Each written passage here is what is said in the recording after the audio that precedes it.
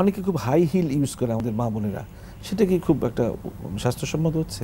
তাদেরকে আমি যেটা বলব যে তাদের উপকারার্থে হয়তো মহিলারা এটা ফ্যাশন হিসেবে ইউজ করে। হ্যাঁ ইউজ করতে পারে। তবে সেটা সামনেও যতটুকু উচ্চতা হবে পিছনেও ততটুকু হবে। মানে সামনে পিছে উচ্চতাটা বাড়িয়ে ফেলতে হবে।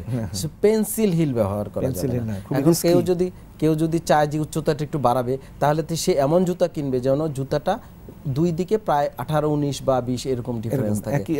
একদিকে বিশ আর একদিকে দুই এই জুতা ইউজ করলে তার এই ফ্যাশনের কোনো মূল্য নেই। এতে তার কোমরের সমস্যা দেখা যাবে যে কোমরের অবস্থা খারাপ হয়ে গেল। হ্যাঁ হয় এবং এই জাতীয় রোগীর অ্যাভেলেবেল আমরা রোগী পাই। তবে সচেতনতা বেড়েছে। এখন মহিলারা এই বিপ- এখন পেন্সিল হিল পড়া কিন্তু অনেক কমে অনেক কমে গিয়েছে। প্রফেসর ডক্টর শফিউল্লাহ প্রধান অনুষ্ঠানে এসেছেন।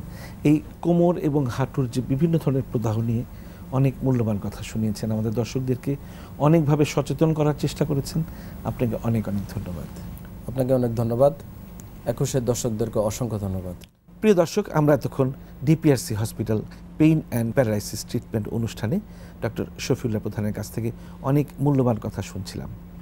আমরা প্রতিদিন যে সংবাদ পাই দুঃসংবাদ পাই সেটা হচ্ছে সড়ক দুর্ঘটনা।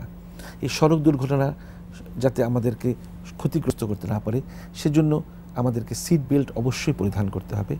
হেলমেট যারা মোটরসাইকেল চালান, অবশ্যই আরোহী এবং চালক দুজনকেই হেলমেট পরতে হবে। কারণ আমাদের লক্ষ্য রাখতে হবে যে সময়ের চেয়ে জীবনের মূল্য অনেক বেশি।